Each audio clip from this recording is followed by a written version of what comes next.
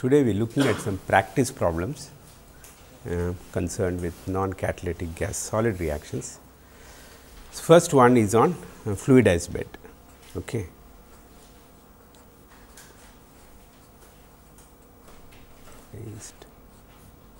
Bed. Quickly draw what a fluidized bed looks like.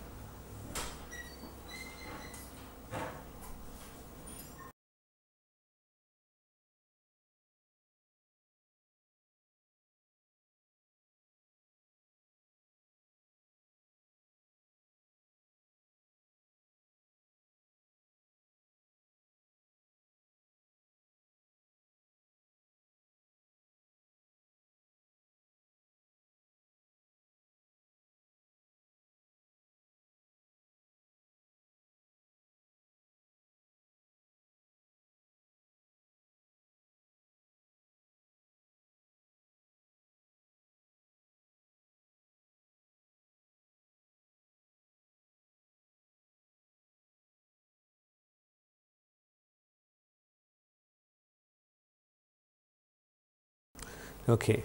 So, let us look at an example let us zinc sulphide plus oxygen giving you zinc oxide plus sulphur dioxide. The context is that zinc sulphide is available in Udaipur region of this country and fluid bed is the contacting that is used for uh, making um, molten I mean metal zinc by first roasting of zinc sulphide. Now, why is it that they use uh, fluidized bed? Okay. Why they would use a fluidized bed? The reason is this reaction is exothermic and generates a lot of heat and you can get that heat out by putting a coil in which you put water through and then you get steam out that is steam. So, it is one way by which you can recover heat of the reaction quite effectively. So, this is one of the major reasons why people would use uh, a fluidized bed. Now, just put it in the context, let me do a small calculation as to what the numbers look like. I will do a small calculation. Let us say you have sulfur plus oxygen giving you sulfur dioxide. Okay, let us look at a plant producing uh, 1000 tons per day of sulfur dioxide, which means roughly I am just putting some rough numbers 500 tons per day of sulfur is what is consumed roughly. Okay. We all agree? Okay. Now, amount of steam that can be produced from 500 tons of sulfur, I mean if you look at the heat of I mean heat of combustion and so on, you will find that you can produce about 2000 tons of steam. In other words, for every ton of sulfur that you burn, about 4 tons of steam can be produced. Okay. Therefore, a 1000 tons per day sulfur dioxide plant will produce about 2000, 2000 tons of steam. Okay. Now, if you put the steam through a uh, through a turbine and produce electricity about 0.25 megawatt hour per ton of steam is what you will generally get 0.25 megawatt hour. So, 0.25 megawatt hour from 2000 tons of steam. So, what is the total amount of power that he can produce? It is about 500 megawatt hour per day, correct? Or if you talk about 25 hours in a day just for calculation sake, this about 20 megawatt hour of electricity is what can be produced in a 1000 tons per day sulfur dioxide plant and this is what they do also this is what is done. Now, the, what the fluid bed becomes quite effective the fluid bed becomes quite effective because the heat transfer coefficient here is typically about 200 kilocalories per meter squared per hour degree C. It is fairly large, fairly large heat transfer coefficient.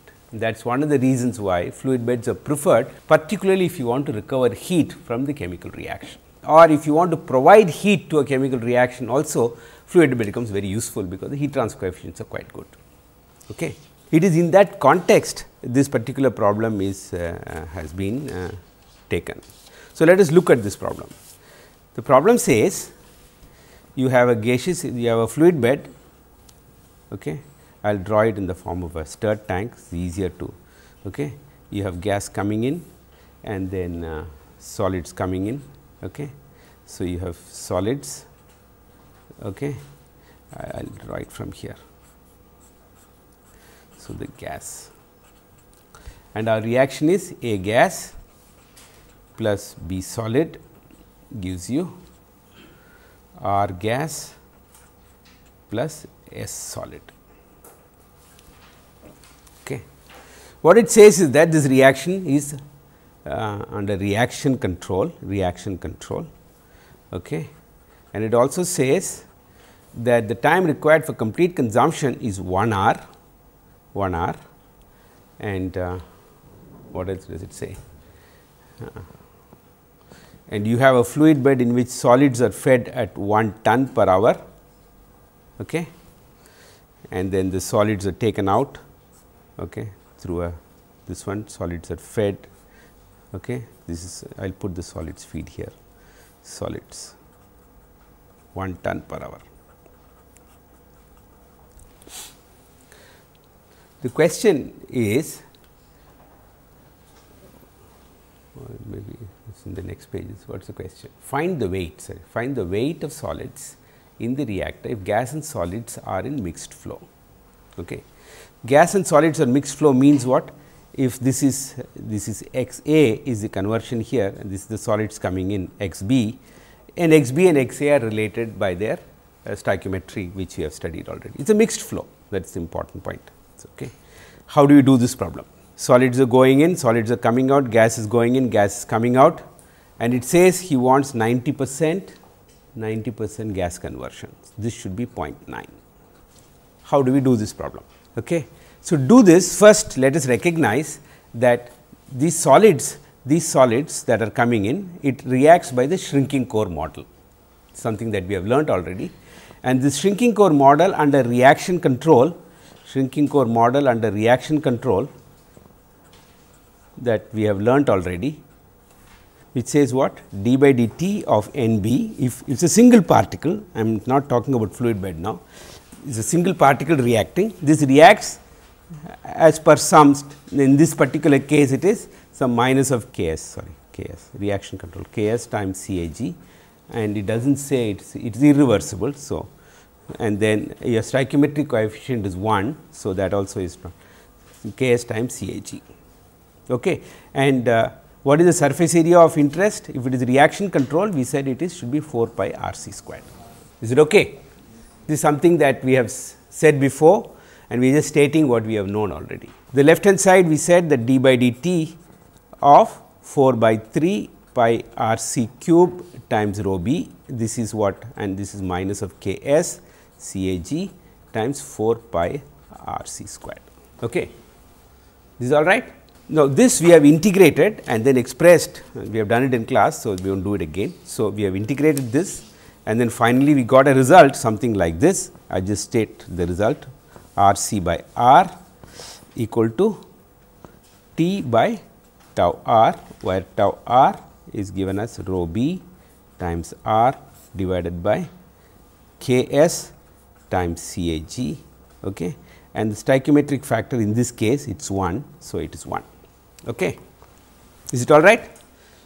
Now, let us look at the problem now. The problem says the time for complete consumption of the particle with concentration of gas at C A 0 is 1 hour. Okay. The time for complete consumption of the particle with con at C A 0 if it is 1 hour. What happens in our fluid bed? What is the concentration of gas in contact with the solid in the fluid bed?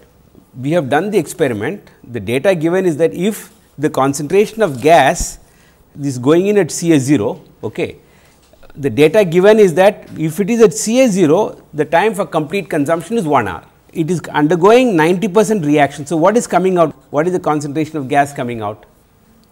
It will be 0.1 C A 0. So, this is 0.1 C A 0. Okay. So, if the gas that is coming out is 0.1 C A 0, what is the time for complete consumption if the gas concentration is 0.1 Ca 0 in contact with the solid?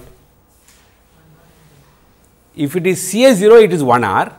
If it is 0.1 CA 0, what is the time for complete consumption? 10 hours. Correct? Is it okay with all of you? Therefore, tau r at 0.1 CA 0 is 10 hours. Do we agree with this all of us? Okay. Now, the question that is in front of us is we have these solids, these solids okay, it is reacting as per shrinking core model where the RTD of the system is given by the RTD of stirred tank. This you have said correct. The average conversion from a reactor okay, where the RTD is specified is given by 0 to infinity and we said we integrate this 0 to tau, tau to infinity, we have done that. So, we can integrate this in parts 0 to tau of 1 minus of x b times E t of d t plus tau to infinity 1 minus of x b E t of d t. And we said this term disappears, it disappears because 1 minus of x b is identically 0 in the range of tau to infinity. Okay. That is why we deleted this term. Is this point clear to all of you? Why we deleted this term? The reason is that when tau time is greater than tau, the particle which spends time greater than tau reacts completely and that is why x b is 1. Therefore, 1 minus of x b is 0. Therefore, this term disappears. Okay. So, you only have to integrate 1 minus of x b e t d t given what is the value of 1 minus of x b? Let me write it down. Uh, let me write it down here. From here we get R c by R is 1 minus of t by tau r. This is uh, 1 minus of x b, uh, is it right? R c by R is what? 1 minus of x b to the power of 1 by 3. Is it okay?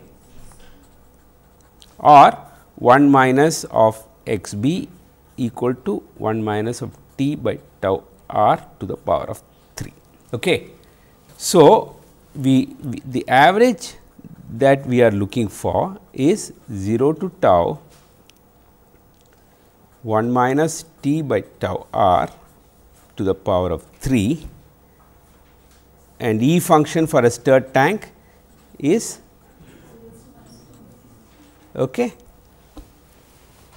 Is this all right? So, this is the answer we are looking for. Is it all right? Okay. Now, can you integrate this? Can this be integrated? Can the right hand side be integrated or not? So, let me just expand this and see whether it looks okay or it looks very complicated. Let me expand this 1 minus t by tau r minus 3 plus 3 t by tau r okay, minus whole cube all right. So, it's 1 by t bar e to the power of minus t by t bar of dt. This is the integration that you have to do integral sorry integral 0 to tau tau r actually. Is it okay? This can be done by all of us. Is there a, is it difficult, complicated, take too long? Okay. Now, it might take a little while. So, to save some time, what I have done, we, you can do this at home. It simplifies like this. I will just put this final form. Okay. Uh, we should do it ideally, but you know it is not that it is too complicated. So, we can do this at home, we just get this. So, where alpha is tau r by t bar. Okay. Alpha is tau r by t bar. Now, what is given? Problem specifies that we need 90 percent of what? 90 percent of the solid is to be converted. So, what is x b? 0.9. So, x b is given as 0.9 equal to thrice alpha minus of 6 alpha squared plus 6 alpha cube minus of 6 e to the power of minus of alpha by alpha cube. Can we solve this? I want you to solve it here. A way to solve this is take some values, take some values. 3 or 4 calculations all that is required uh, to get a feel for the kind of answers. Okay. 3 or 4 numbers we have to take. Huh? Let us do one small calculation all of us. Let us say alpha equal to 10 quickly say alpha equal to 10. So, what is the right hand side? Alpha equal to 10. I am just writing it down. You tell me whether I have uh, done it correctly.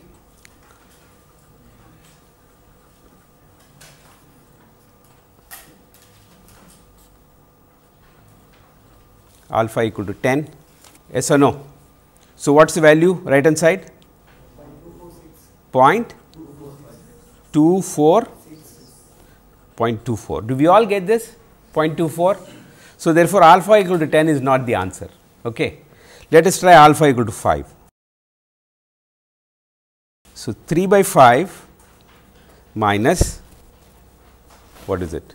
3 by 5 minus 6 by 25 plus 6 by 125 minus 6 e to the power of minus 5 divided by 125. Okay. Is it all right? So, what is it now? Uh, so, right hand side is 0 point. We all get this? It's, it's okay with everyone? So, even this is no good. Alpha equal to 5 also not a good answer. All right, let us try what? Alpha equal to 1 alpha is 1. So, 3 by alpha. So, RHS 3 by alpha minus 6 by okay 3 by 1 so 6 by 1 plus 6 by 1 minus 6 e to the power of minus of 1 by 1. So, what does it become?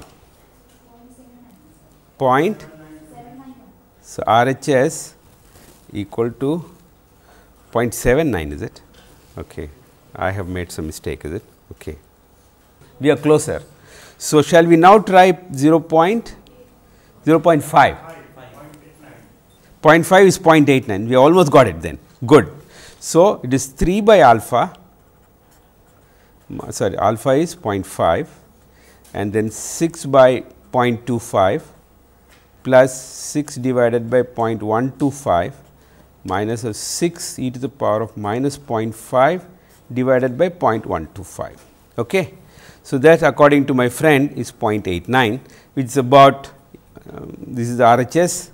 So, LHS is 0.9. So, our answer is probably around 0.5. Okay. Say it again. It's 0.4 is the answer, is it? So, alpha equal to 0.4, my friend says x b becomes 0.9. Okay. I see you can directly solve this, is it? Okay. Very good, very good. Okay then. So, let us go with alpha equal to 0.4 because it is a neat number. So, now I ask you what is the hold up of solids in the fluid bed? Alpha is 0.4. Alpha is 0.4. What is the hold up? The question is, the question says find the weight of solids in the reactor. Okay. Weight of solids means what? Hold up of solids. So, W divided by Fs equal to t bar yes or no and alpha equal to tau divided by t bar. Okay. Now, do we know alpha? Do we know alpha? It is 0.4. Do we know tau? What is it? What is tau? 10 hours. Why is it 10 hours? Because the gas is in contact with a gas of concentration which is only 10 percent of the data that is given to us correct that is why tau is not 1 hour, but it is 10 hours. Okay. So, tau is 10 divided by t bar. So, t bar is how much? 10 divided by 0.4 that is equal to 25 hours. Okay. Now, what is Fs? It says treating at the rate of 1 ton per hour, correct. So, Fs is 1 ton per hour. Therefore, W divided by 1 equal to 25, therefore, W equal to 25 tons. So, hold up of solids is 25 tons. Is this clear? Okay. What we are trying to get across to you here is in gas solid reaction single pellet analysis we do experiments with a given concentration of gas, but in the equipment the actual concentration may be very different from in which you have done your experiments. You must correct the time required for complete consumption by appropriately accounting for the gas concentration which is responsible for the reaction.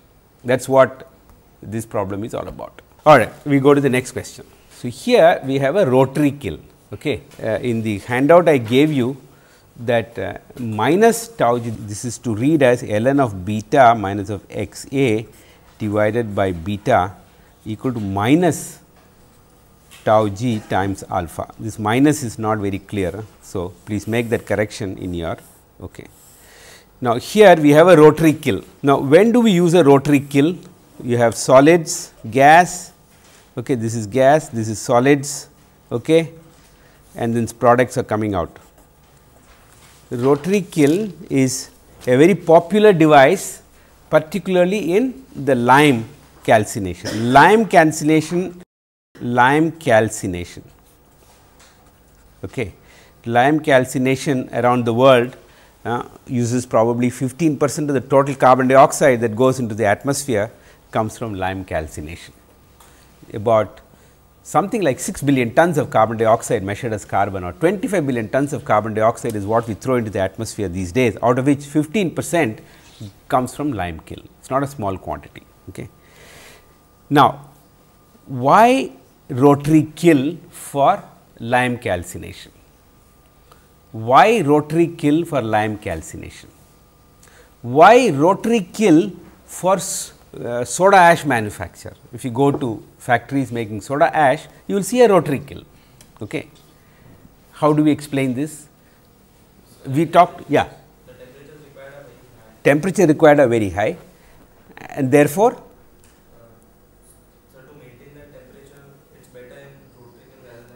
uh, how do you supply that heat in a rotary kiln? That is more difficult. See in rotary kilns, the heat that is required is actually supplied along with the raw material. For example, if you go to lime kiln, they will actually add lime and then coal also. Coal and lime go simultaneously together. So, that as the coal burns, that the heat of reaction is used for the decomposition of lime.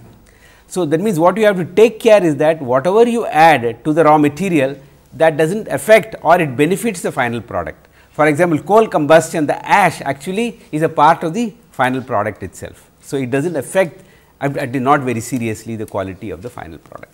So, in rotary kiln you will generally put your fuel also along with the uh, raw material. It is not very easy to uh, provide heat from the walls of the rotary kiln because it is rotating, it is not very convenient. So, what is done is very nicely insulated therefore, you do not lose too much of heat, but all the heat of combustion is actually added along with the raw material. Okay. So, you have let us say Ca CO3 plus heat giving you CaO plus uh, CO2. Okay. All right. But in this case, it is not uh, the problem there is A gas plus BB solid, B, B solid I think, B solid equal to C gas plus D solid. So, it is not uh, quite similar to uh, lime calcination. Can we think of any other example of uh, process industry where gas and solid react to give you gas and solid as an example. Zinc sulphide to zinc oxide. Okay. Now, zinc sulphide to zinc oxide people do not use a rotary kiln. Why? Zinc sulphide to zinc oxide rotary kilns are not common. If you go to Hindustan Zinc in Udaipur, it is a fluid bed. We are concerned about the Quality of product. No, in in uh, in zinc sulphide, fortunately, zinc sulphide combustion um, or uh, roasting gives you a lot of uh, heat. So, there is no need to provide external heat source. Okay. So, uh, that is why indeed what we want to do is recover a lot of heat from zinc sulphide roasting. That is why rotary kilns are not suitable for heat recovery, not suitable for heat recovery. Rotary kilns are very good for very large throughputs. Very large throughputs are what soda ash for example, large throughputs. So, it is very useful. Okay. So, what, what is the closest example of A gas plus B solid giving you C gas plus D solid? What is the closest we can think of in process industry? Closest? Cement. What do they do in cement industry? The cement clinker is made in this, wh what happens there? You have lime, you have coal okay, and all the fluxes and actually the clinker forms inside the kiln. Okay. The, what is the product gases? Is carbon dioxide. Okay. What is the feed gas? Air. Okay. So, air burns gives you the heat that is required for the cement production to take place. It is a very good example of cement manufacture, an excellent example of this reaction. Okay. Now, it says the reaction it says that it is under shrinking core with external diffusion control. Now, how do we justify in cement manufacture for example, how do we justify external diffusion control? Do you think it is a justifiable assumption if it is cement manufacture? You will find, I, mean, I do not know if some of you have seen the cement industry, what comes out is a clinker. The clinker is uh, typically about 7, 8, 10 centimeters, you know, it is not small, not 10 cent, maybe 5, 6 centimeters. So, it is get a clinker which is then powdered and then sold to us as, uh, as cement. So, what you make is clinker. Okay. So, clinker has a reasonably large size. Okay. Now, here it says external mass transfer controlled. So, would you think that uh, cement manufacture would be an example of external mass transfer control? What is your perception? I hope you understand after. Try and understand if you are working in Larsen and Toubro, you are building up uh, a cement plant in one of these places, in one of the largest, uh, you know, L&T builds many of these plants. So, you might be involved in design of some of these things. So, is this question, is this assumption correct or is not a good assumption? Now, the answer is like this.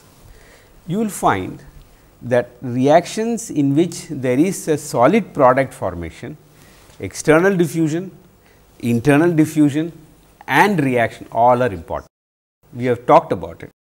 When the temperatures are very high, reaction kinetics is not all that important. Reaction kinetics is not very important. It is external diffusion or diffusion through the product layer. You see these are the two important layers. Okay. Now, what seems to happen in this uh, in the cement industry is that what you add is actually powdered rock of limestone, powdered coal. So, as it is going through it is actually because of the temperature it forms a clinker. So, for a substantial part it is only heat transfer to the uh, particles which is very important. Only in the later stages as because of glassy things and it forms a, a solid it becomes diff. So, for substantial part of this kiln it is actually controlled by external mass transfer that is the example that we have taken. Okay there are better examples we can take. So, this is not a bad example although it may not be the best example. Okay. Now, we have done all these mathematics, but we want to do it again just to put it in the context. What is the context? You have A gas, uh, let me just quickly write down just put it in the context our A f a 0 times 1 minus of x a and we have B is f b 0 minus of f a 0 x a. Okay then you have C which is f c 0 plus f a 0 times x a, then you have D which is f d 0 plus f a 0 x a. Okay. And then we said that our equilibrium constant is K p, it is given by what gas is P c divided by P a. I put a star to indicate that it is equilibrium. Okay. And we expressed all these things uh, PC and all that in terms of concentrations, we will not do it again. So, Kp Pc star divided by Pa star. So, from our stoichiometry we get something like this correct. We have done this. So, I will not go this again. So, so that our equilibria is given by K p minus of theta c divided by 1 plus this we have done. So, we know what is the equilibria and how it is determined by the compositions of our choice. Okay. Is it okay what we have done? So, this, this representation comes from stoichiometry. We have done this before, we have done this here okay, and it directly follows from stoichiometry. We have done this in class. Now, rate at which the reaction takes place, the rate we say this is R A dash divided by where R A dash is is the reaction rate per unit surface area and A s is the surface area per unit volume. Okay. This is what we have said and if it is if our reaction is what what is shrink external diffusion control. So, k g times C A minus of C A star times our surface area per unit volume. Is it okay? So, now we can convert this you have d f a 0 d x a by d v minus sign I have forgotten a minus sign I am sorry minus sign. So, it is minus minus of kg ca is 1 minus of x A C A star it is 1 minus of x A star. So, okay times A s all right. So, this simplifies as f A 0 this becomes d sorry simplifies as d x A by d of gas residence time k g times x a star minus of x a okay cancels off and this is our a s is it all right? Okay. Where this x a star is what we have got here our x a star is is this okay the context of we have said this earlier as well the context here is that this value of theta c theta c is the products in the feed and this has a bad effect on the rate of chemical reaction because it affects x star. And in many cases we may not have a great uh, choice because we have to accept the fact that you know this amount we have to accept for example, calcium carbonate decomposition we said uh, we may have to accept this theta c to be about a significant value of the total uh, resistance. Okay. All right. What is A s? Surface area per unit volume what did we say if it is external diffusion times number of particles divided by volume. Okay. And then we said our experimentally measurable quantity is this. That means, the hold up of solids in the equipment. Hold up is actually a data that is readily available for all equipments. Given the hydrodynamics, people will be able to tell us what is the hold up. Okay. So, the hold up of solids epsilon r is readily available. Therefore, we are able to determine A s as s equal to 3 epsilon r divided by r something like this. Okay. So, that our equation which describes our process is this thrice epsilon r by r k g within brackets x a star minus of x a. Okay. Now, if we look at this equation, we find that it is this term which will determine the size of the equipment. Okay. If we can do something about this term, the size can be reduced. If this term is poor, the size is very large. Okay. So, let us integrate this. When we integrate this, what do we get? ln of actually we have denoted x a star, this we have denoted as beta.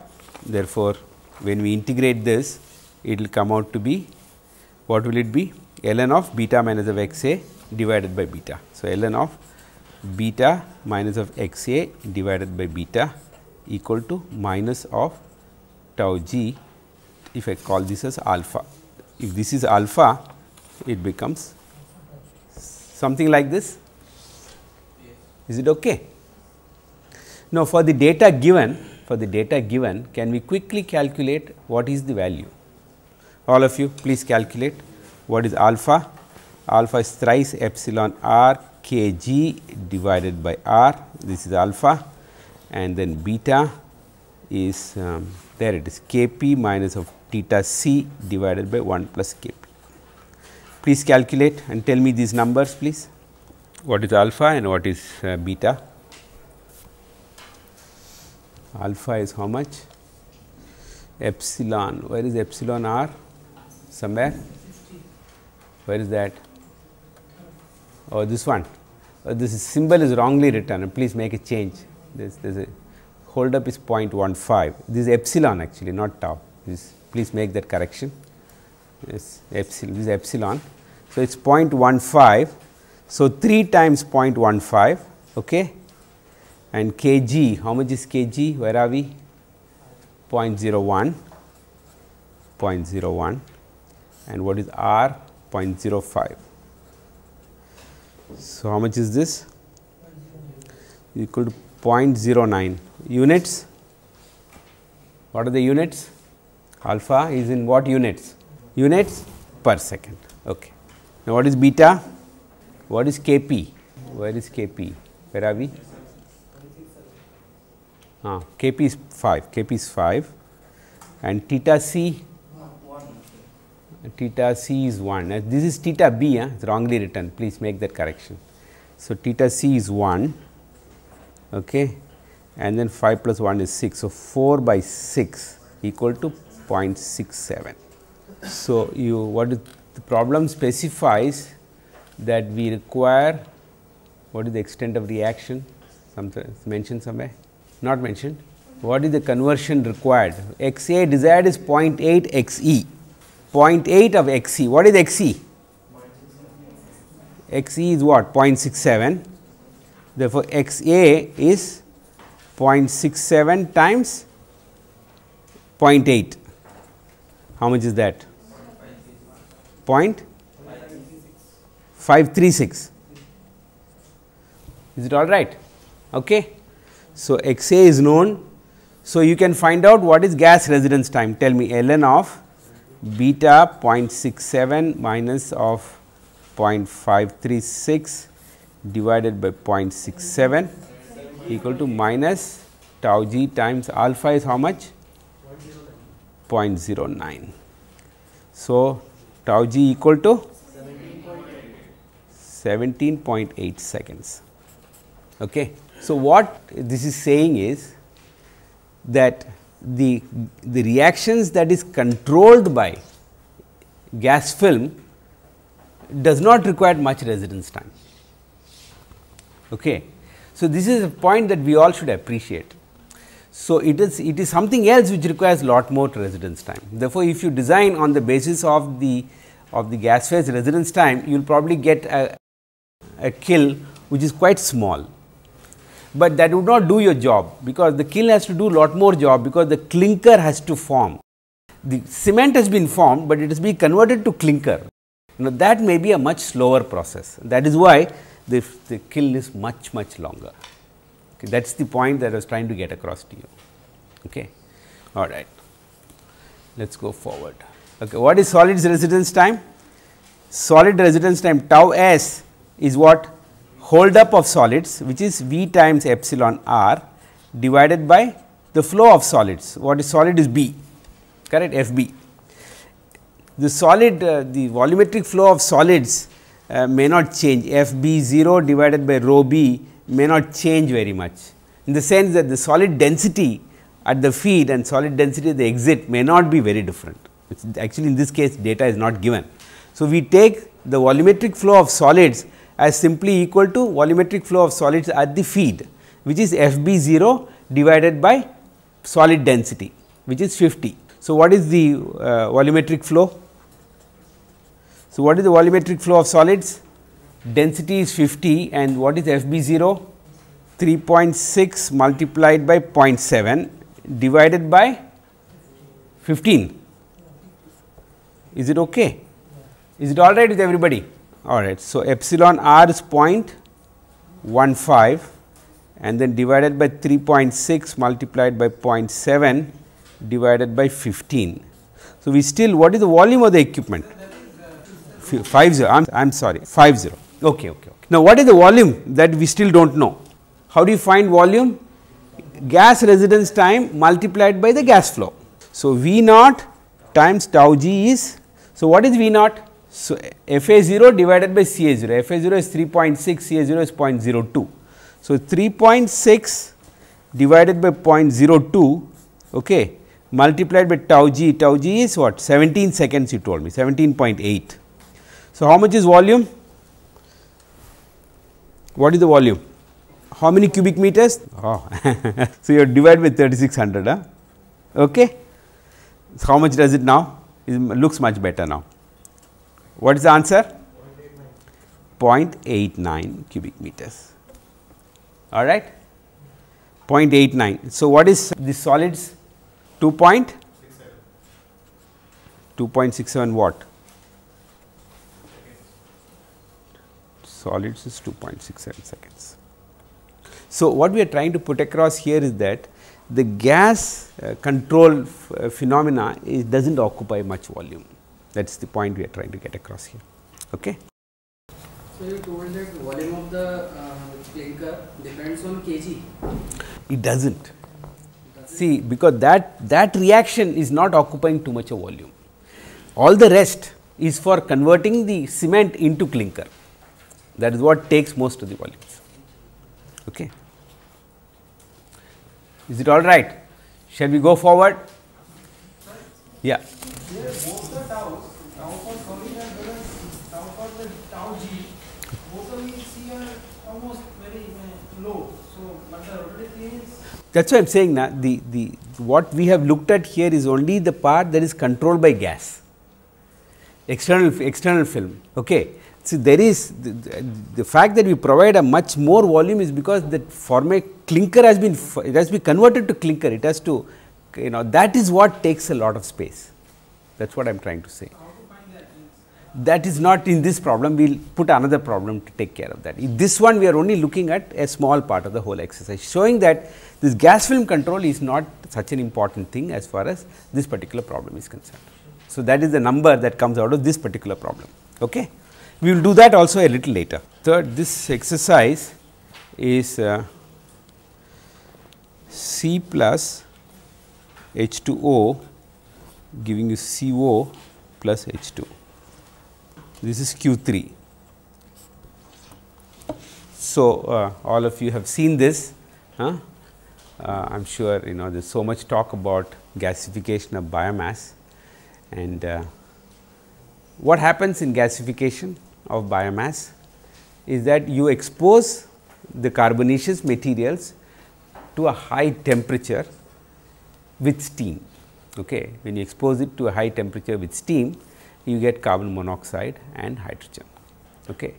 Both carbon monoxide and hydrogen are very valuable materials. In fact, uh, there is still a lot of work goes on around the world to somehow perfect this reaction.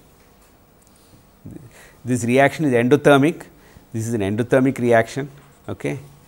and uh, the thermal uh, about 25 kilocalories per mole is the kind of energy that is associated with this uh, reaction.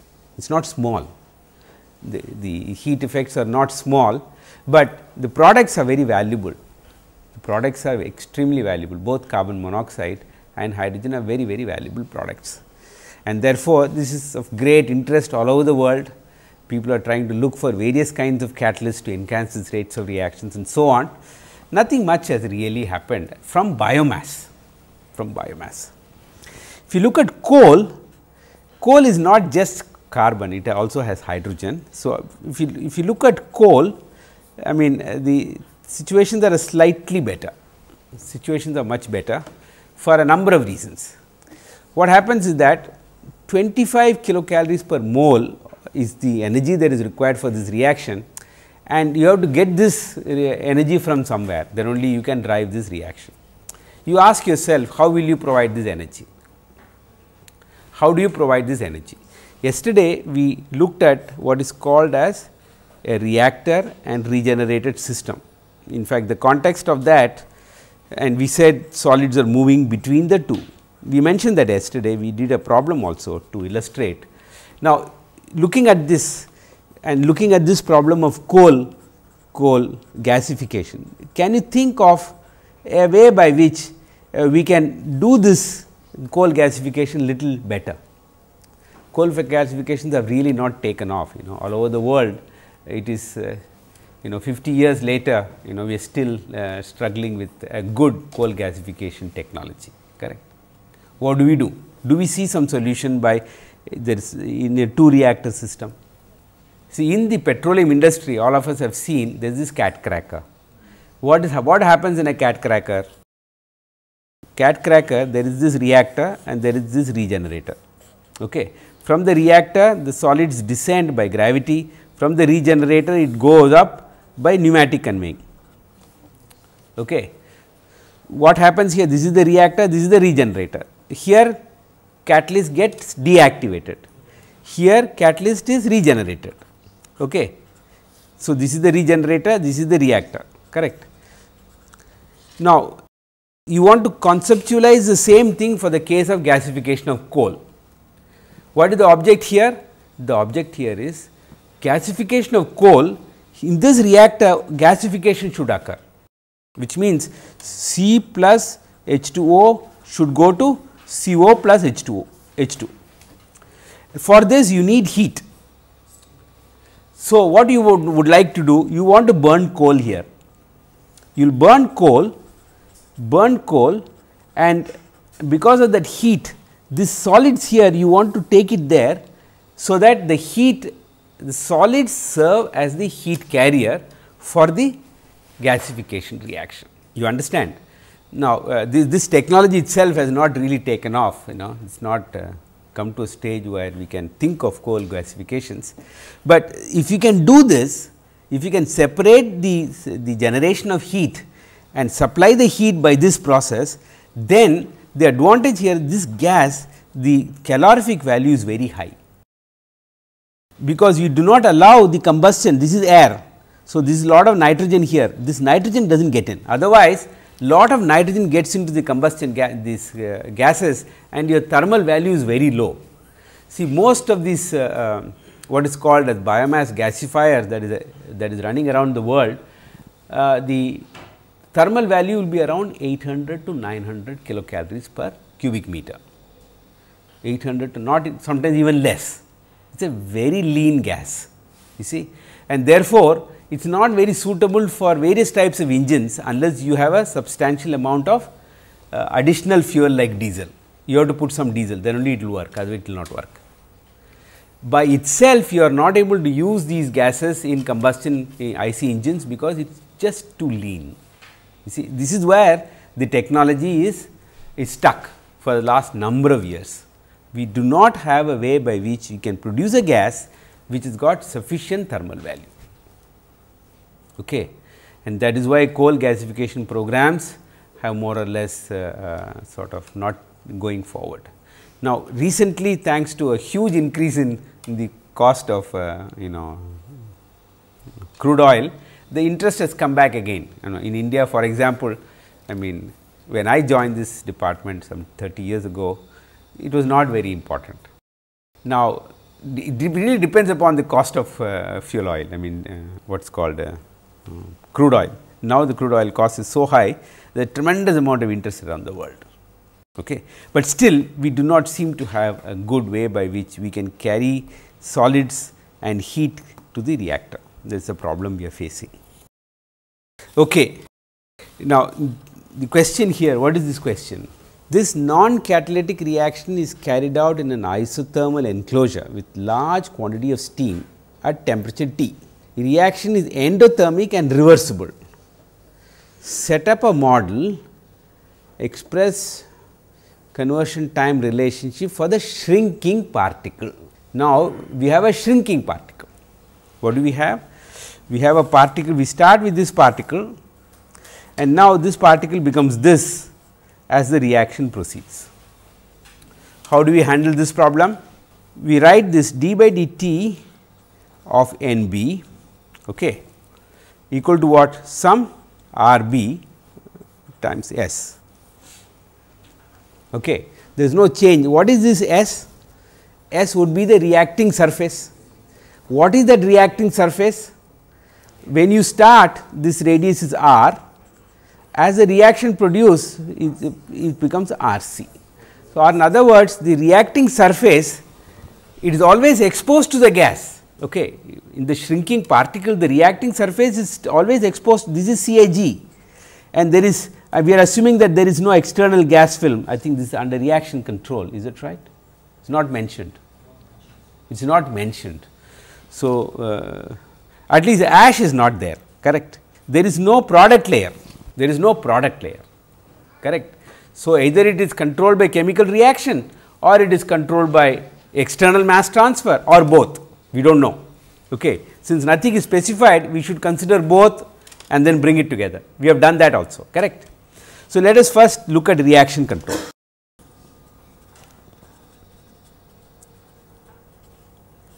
Reaction control.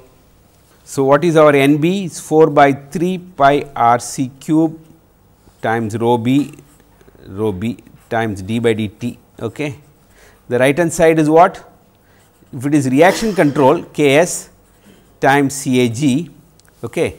Uh, our stoichiometric factor if it is there it is probably 1 and I will put a negative sign to indicate that it is getting consumed multiplied by 4 pi R c squared take into account the surface area.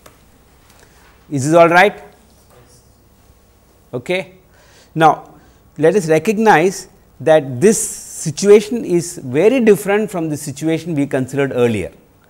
The earlier situation was there was an unreacted core here okay. and the, the gases were diffusing okay. and there was we said when this reaction control there was no resistance in the product layer that was what was the situation we had considered earlier. Here that is not the situation, the situation here is that the particle itself shrinks. Therefore, at every instant of time the unreacted surface of the particle is exposed to the gas. Okay. That is the difference between the two situations. Okay. So, can we uh, take this forward now? So, the left hand side is 4 pi r c squared rho b d r c by dt on the left hand side. The right hand side is minus b times k s times c a g times 4 pi r c squared. So, 4 pi r c squared disappears. Okay. Yes or no? So, this we can integrate, we can integrate and uh, we will get something similar to what we have got before. So, r c by r equal to t by tau. I put an s here to indicate the shrinking particle, where tau r s is rho b times r divided by b times k s times c a g. Okay. Is it all right what we have done? Now, we have been talking about uh, shrinking core models and then also talked just now about shrinking particles.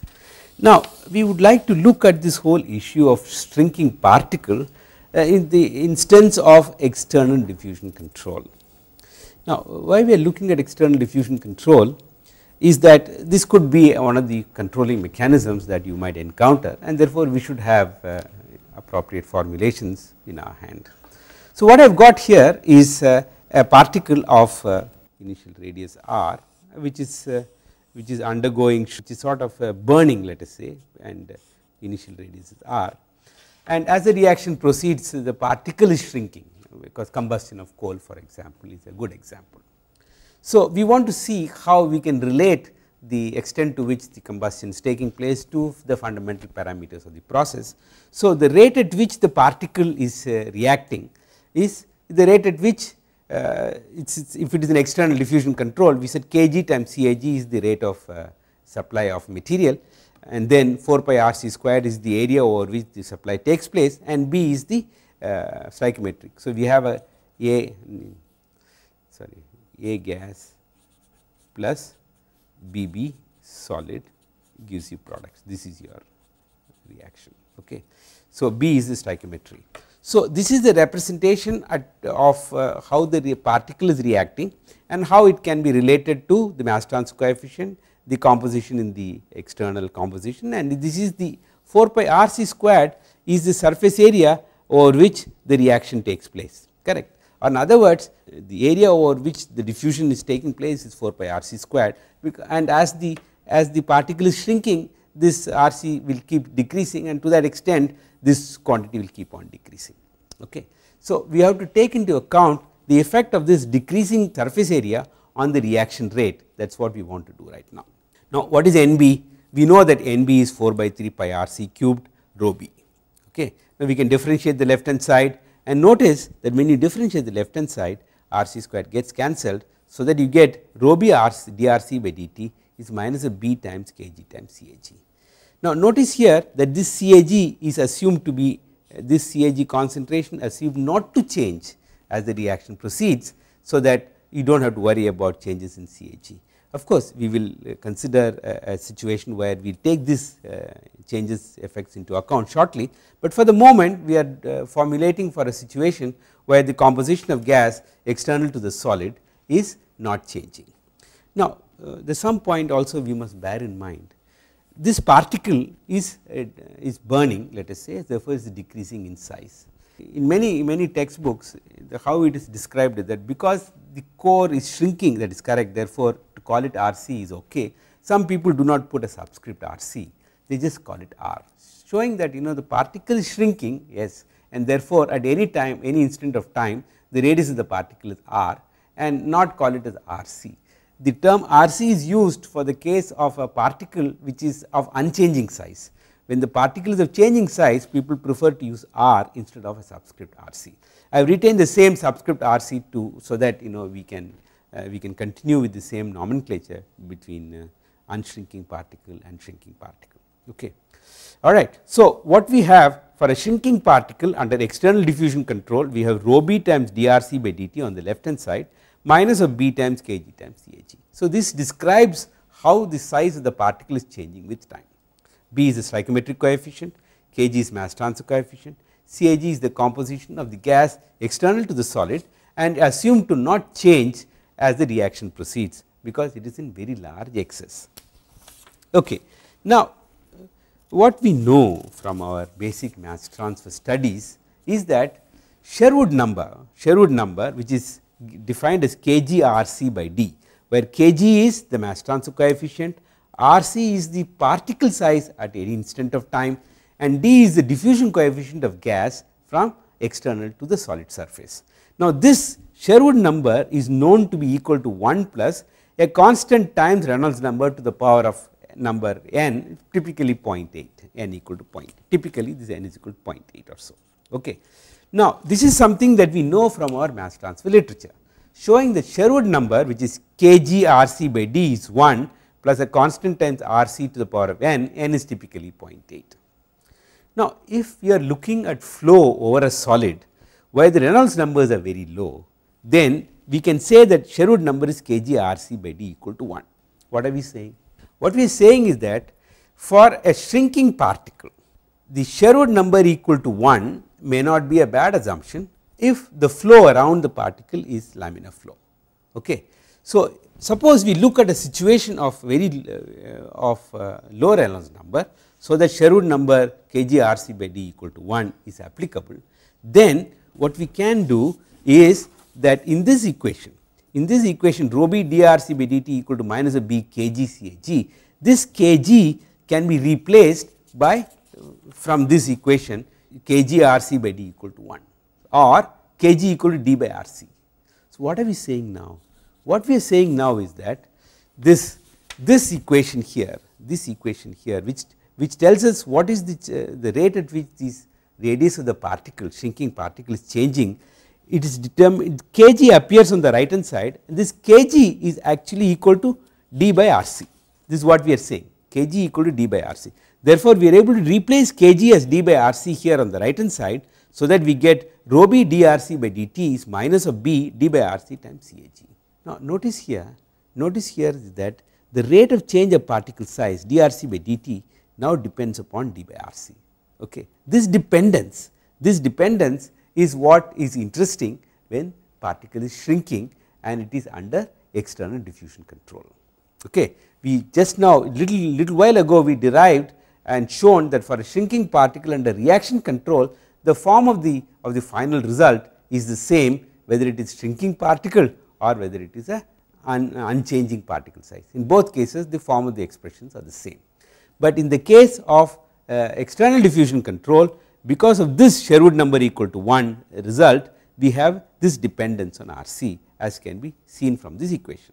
Now, we can integrate this they have done the integration then finally you get this result that rho b this is the result we get okay this result shows that this is the result which we can simplify further which I have done here what does it say what it says is that 1 minus of R c squared by R squared is T by tau Fs where F refers to film diffusion, S refer to shrinking particle.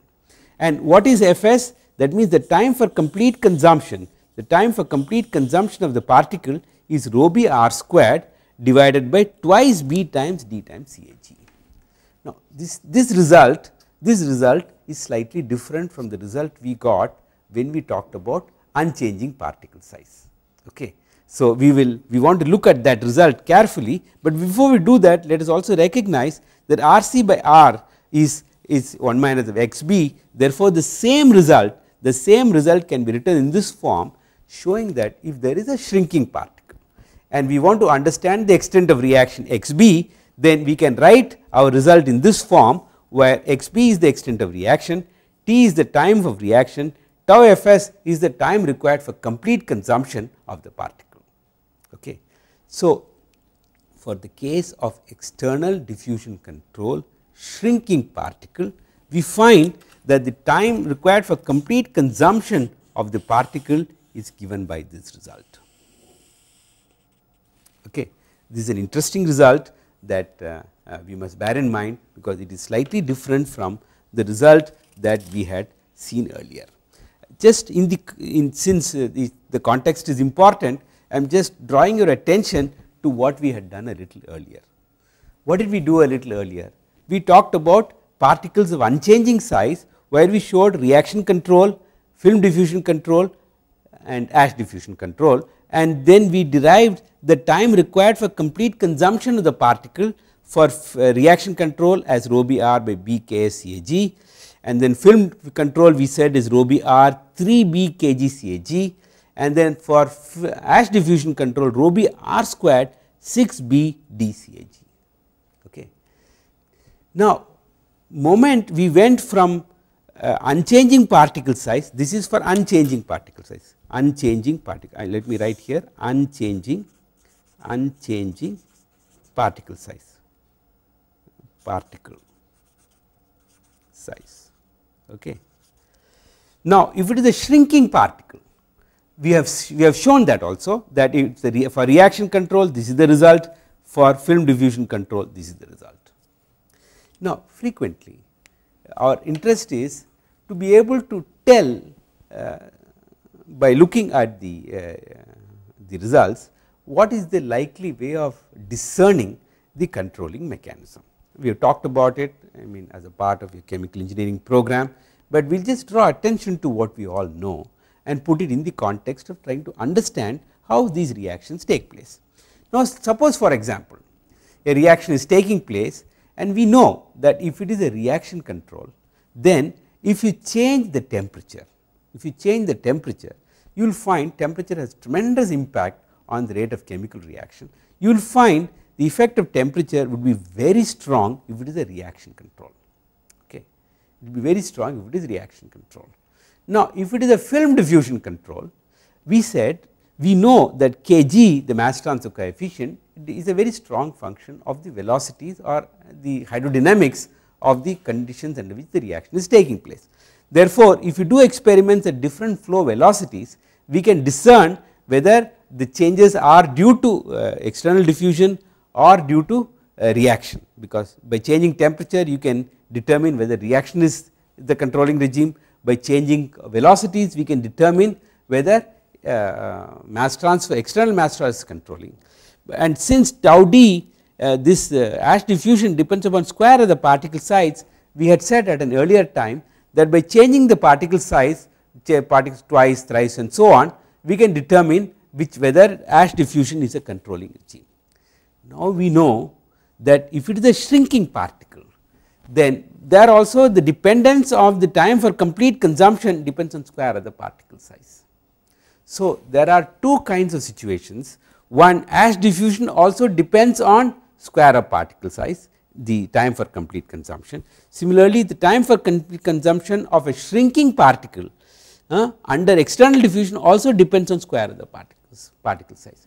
Now, the question is how do you distinguish between the two uh, mechanisms say ash diffusion control unchanging particle size film diffusion control shrinking particle the answer is very simple.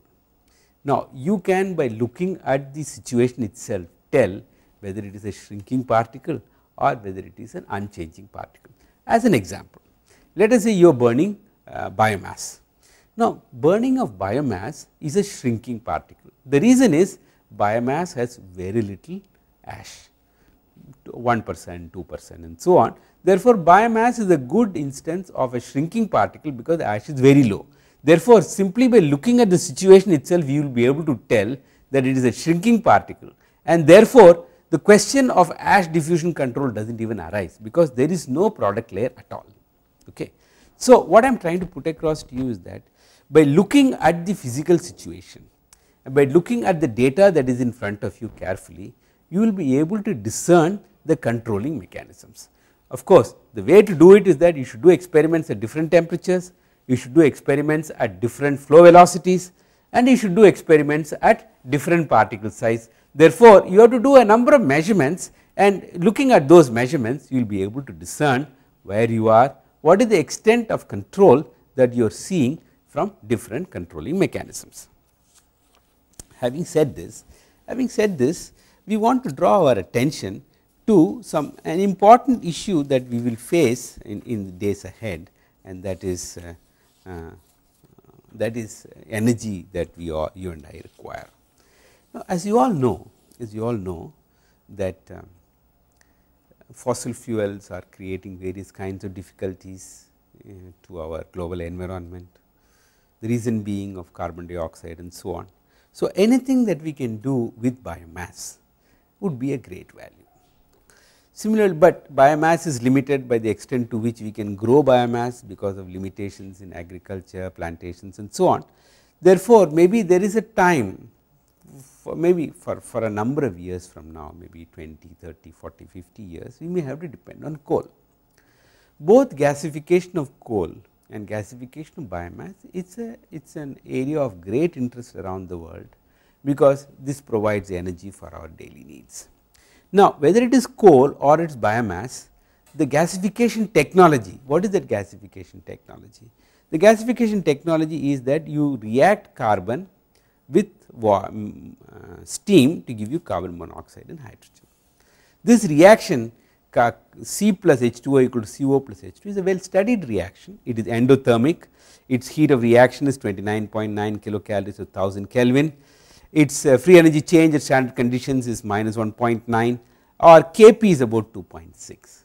In other words, it is a reaction where the equilibrium constants are low, it is endothermic and therefore, you must choose reaction conditions which are appropriate for these uh, kinds of uh, thermodynamic parameters.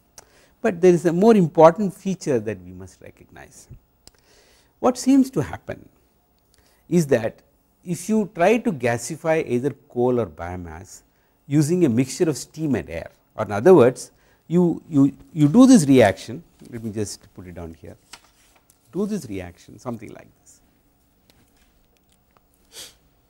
So, you have a enclosure let us say you have an enclosure and then you have uh, say biomass or coal is going in by a and then you put air and steam at an appropriate temperature. So, that here you get gases okay. the reaction is C plus H2O giving you CO plus H2 and then plus because it has air this reaction will also take place you will get CO2 this also will happen.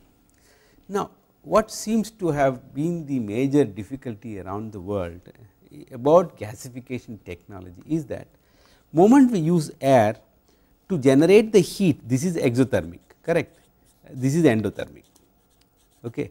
So, it means you are generating heat by this reaction so that it can be supplied to this reaction.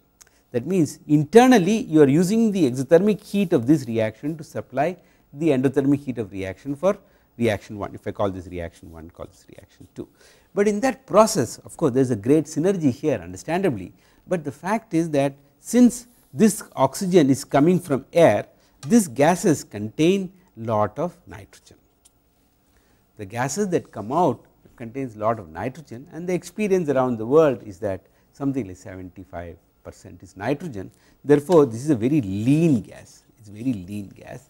The thermal values are very low maybe 6 to 800 kilocalories per cubic meter and it is so low that the thermal the thermodynamic efficiencies we can reach in our uh, in our engines etc., in our boilers etc., are also not very large because it is very lean gas often we have to supplement with some other gas and so on some other fuel and so on.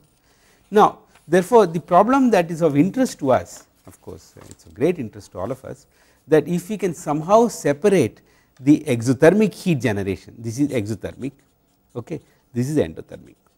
So, if you can separate the exothermic uh, reaction and then move the solids to supply heat for the endothermic reaction that means by separating the endothermic and the exothermic reactions and making these solids serve as heat carrier we are able to achieve a very uh, um, I mean high value high value high calorific value calorific value gas okay so, we are able to achieve a very high calorific value gas by doing this kind of uh, heat supply using the heat carrier. That means, you have two fluidized beds okay, and then the fluidized bed here this serves as the heat carrier into the endothermic reaction and this that material comes back by gravity. So, you have a pneumatic transfer and uh, gravity transfer of solids.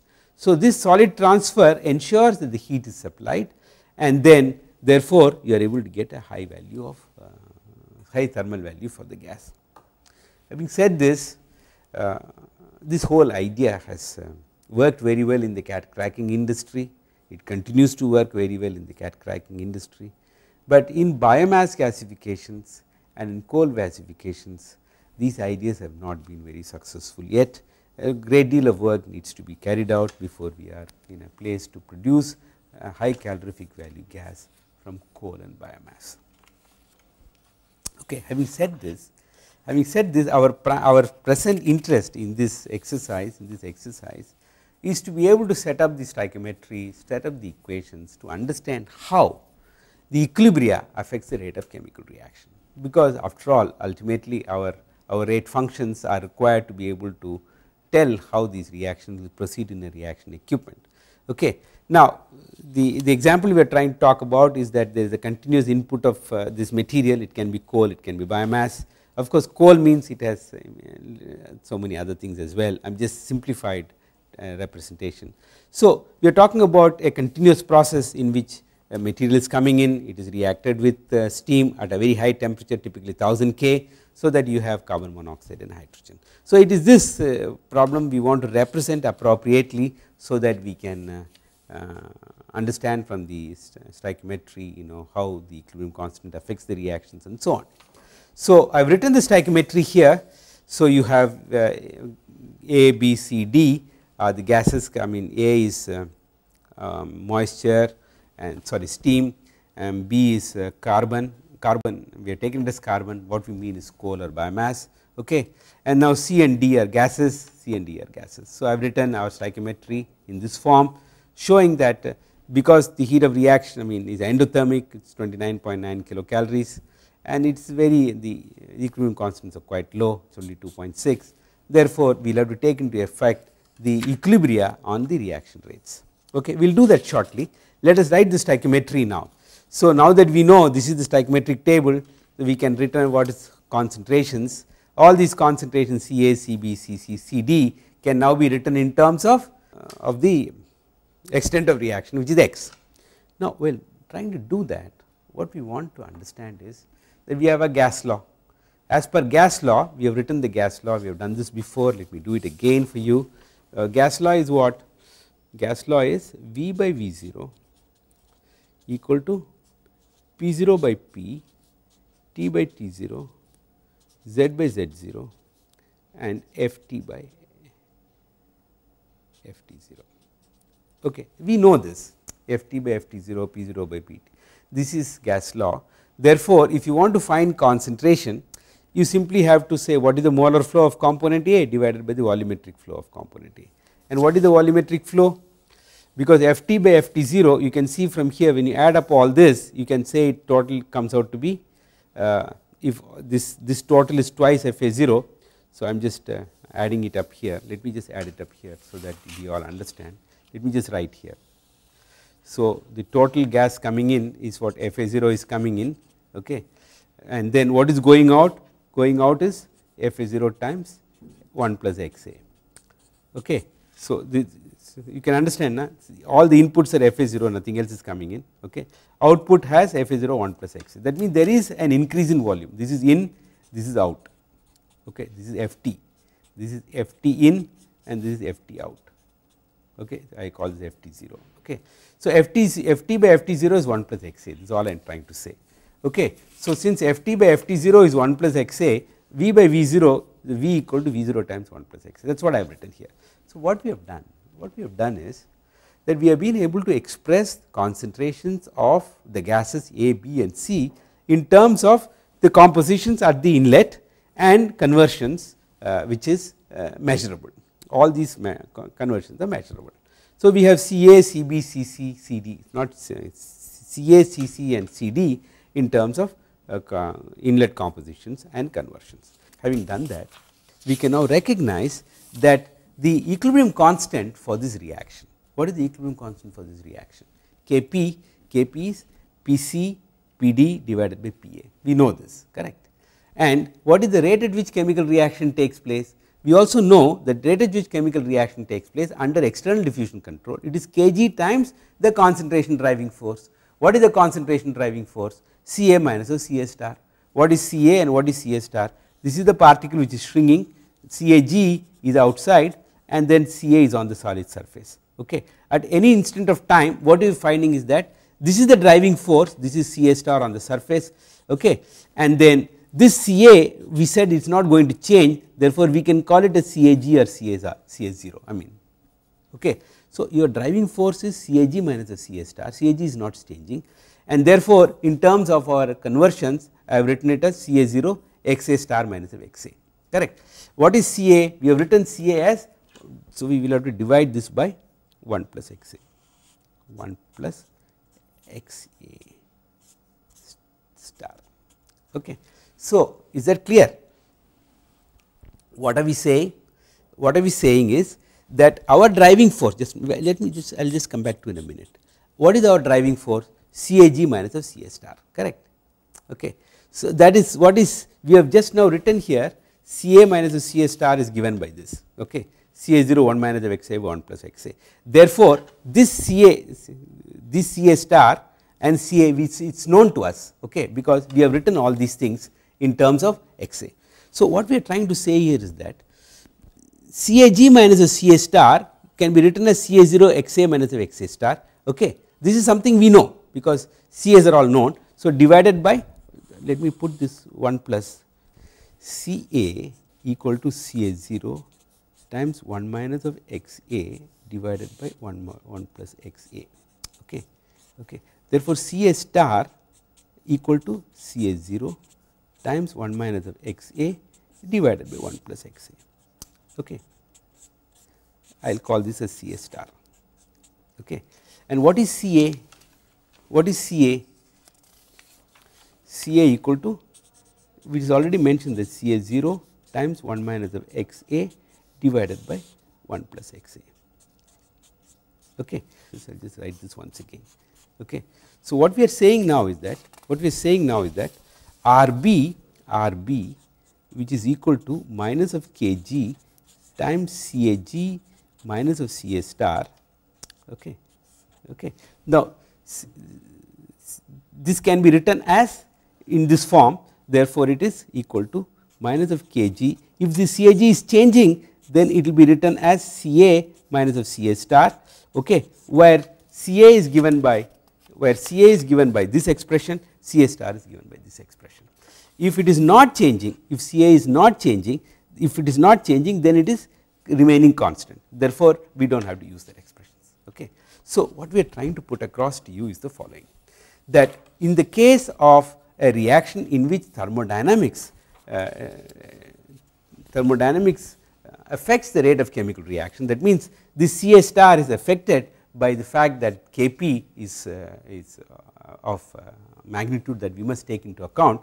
Then this effect will come in determination of this driving force Ca minus of Ca star. Okay? Is this clear? Now having said this what is the value of Kp what is the value of Kp now Kp from our equation here it is written as uh, our Kp is uh, PCPD I will just write here Kp is PCPD divided by Pa. Okay. Now, we can write PC and PD in terms of uh, concentrations and so on. Therefore, finally, what you get here is that the XA star XA star is uh, uh, determined by this equation here. Okay. So, you determine XA star because Kp is known, Ca0 is known, RT is known therefore, you can determine XA star. Okay. Once you know XA star, once you know XA star we can also determine CS star we have done that already. Therefore, we are now in a position we are now in a position to uh, let me just put this down once again. Now, since CA star is known in terms of XA, CA is known in terms of XA therefore, you are able to tell what is the rate at which the chemical reaction will occur because the effect of Kp is now accounted is that clear.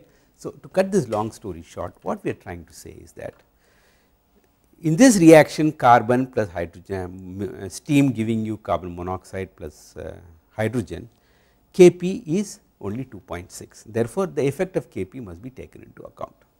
How did we do that? We did that we did that by recognizing that Kp is given by Pc Pd by Pa okay. Uh, I will put a star here saying this put a star here. Therefore, uh, Kp can be put in terms of uh, conversion which we have done which we have done Therefore, we find Kp and uh, Xa star is related by this equation where once Kp is known, RT is known, Ca0 is known therefore, Xa star is known. Or in other words we are able to tell what is the driving this I will have to divide here by 1 plus that that that effect uh, maybe this is not the way to do this. This is the at this point we will stop by saying that Kg Ca minus of Ca star, Ca star is known in terms of Kp. Therefore, we are able to know what is this driving force Ca minus of Ca star and therefore, we are able to tell what is the effect of the equilibria on the rate of chemical reaction. So, what we are trying to say here we will we'll, we'll put this not like this we will put this as Ca uh, G minus of Ca star okay this is the driving force okay not uh, Cag okay. Now, what we have tried to accomplish here is that this time for complete consumption is previously given only in terms of CIG because C star was not important. Now, the driving force is CAG minus of C star okay. and what is C star and what is CAG both we can calculate from our uh, understanding of thermodynamics. Okay. What we have done here let me just put it across to you once again. What we have said is the following. What we have said is that Ca and Ca star in this case is given by these two equations. Okay. Ca and Ca star is given by these two equations. And if the if the composition is changing if the composition is changing if the composition is not changing then Ca Cag remains the same. Okay. It does not change. Now if for some reason in the flow reactor in which compositions are changing you must take into account the effect of Cag as the composition changes then we will have to use this expressions Ca star is given by this Ca is given by this so that you can you can uh, substitute for both CAG and CA star in this equation and therefore, you know what is the rate function. Okay.